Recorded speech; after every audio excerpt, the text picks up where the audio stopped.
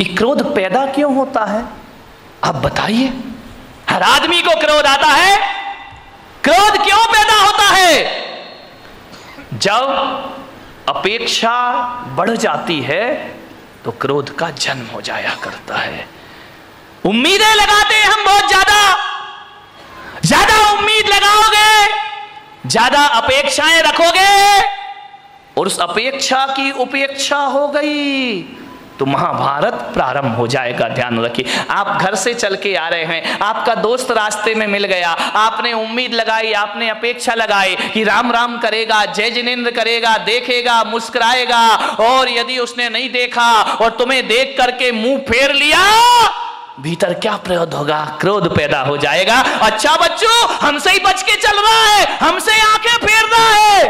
कल तक हमारा दोस्त था, आज निगाहें फेर के जा रहा है। देख लूँगा मैं, तुझे क्रोध पैदा हो गया, ध्यान।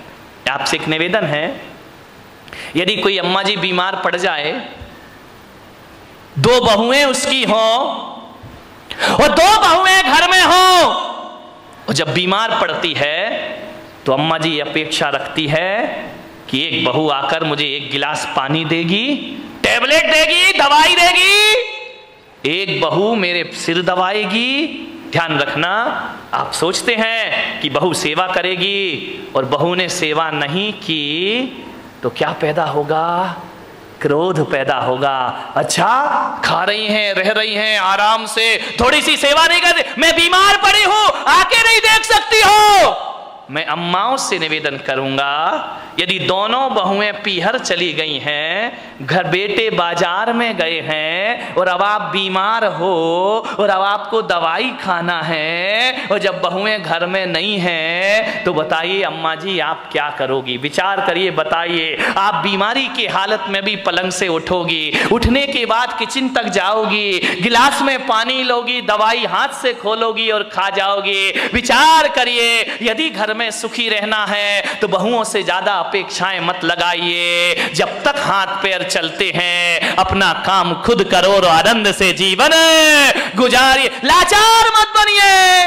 ध्यान रखिए, बहू यदि पानी और दवाई नहीं ला रही है तो ये मत सोचना, मेरी बहू खराब है। सोचने की तो बात है, बस इतना सोच लेना, मेरी बहू पीहर गई है और मैं यहाँ पर अकेली हूँ। अपना काम खुद करो, ध्यान रखिए। भगवान के मंदिर में जाओ तो ये मत कहना कि मेरे बच्चे और बहू बुढ़ापे में मेरी सेवा करें।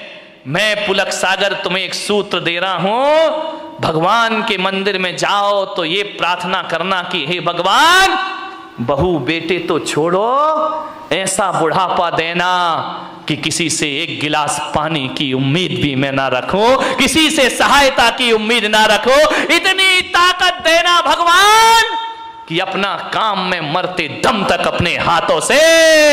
फिर लड़ाई कहाँ से होगी, फिर झगड़े कहाँ से होंगे?